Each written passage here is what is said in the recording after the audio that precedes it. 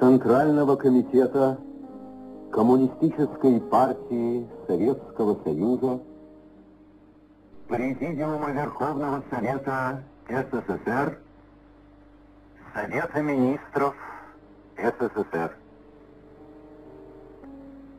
Центральный комитет Коммунистической партии Советского Союза, Президиум Верховного Совета СССР и Совет Министров СССР с глубокой скорбью извещают партию и весь советский народ, что 10 ноября 1982 года в 8 часов 30 минут утра скоропостижно скончался генеральный секретарь Центрального комитета КПСС, председатель Президиума Верховного Совета СССР Леонид Ильич Брежнев.